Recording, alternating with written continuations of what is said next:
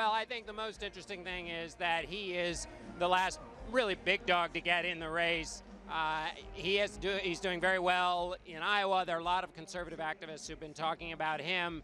He's really got to be considered in the top tier. So now that he's in, we're going to start to see maybe a few more attacks, a little bit uh, different kind of a race, and we'll see it move into that next stage. Uh, you already mentioned Iowa. A lot of people think that's where he may have the best chance. He certainly put a lot of eggs in that basket. Has he put too many eggs in that basket? There are a lot of candidacies that have run afoul of Iowa, putting a lot of eggs into that basket. And remember, the key thing is it's not just whether you show up first or second, but it's how you do relative to expectations. And so ex- expectations are high for him in Iowa, but they always were going to be high. He had to embrace that because high because he's from the Midwest, high because social conservatives like him, and also because he's got a record to run on. So he couldn't deny the fact that he's going to have high expectations, so you might as well embrace him. Yeah, that's the one to watch for him. As a candidate, overall speaking, what are some of the things that make him, perhaps, you think, an, an attractive candidate to, to the base?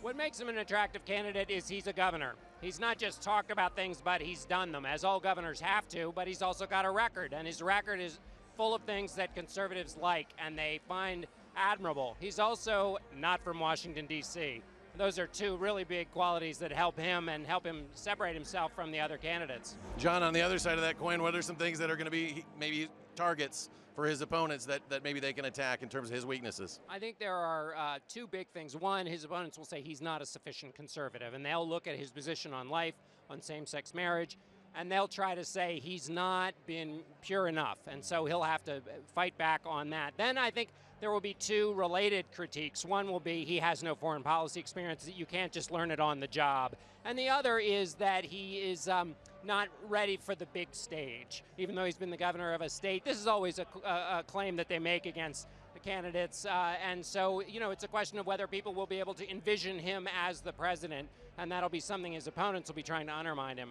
Yeah. Uh, when you look at his travel schedule in the next few days, Vegas, South Carolina, uh, Iowa, spending a lot of time there with an RV tour there, three days. What does it tell you about his plan of attack in this campaign? Well, he, like all of them, is trying to do well in those top states, those top four states. I think South Carolina and Nevada setting up better for him than, say, New Hampshire. New Hampshire is a state where you've got Jeb Bush, Chris Christie, John Kasich, uh, and even Senator Graham all trying to kind of boost their campaigns in that state. So Walker has kind of a natural setup in Iowa and in South Carolina and Nevada, so he's or in in, uh, in Nevada, so he's trying to kind of run where his strengths would be. Finally, what's it going to take for him to? I mean, a lot of people think he's already a very key player in this race.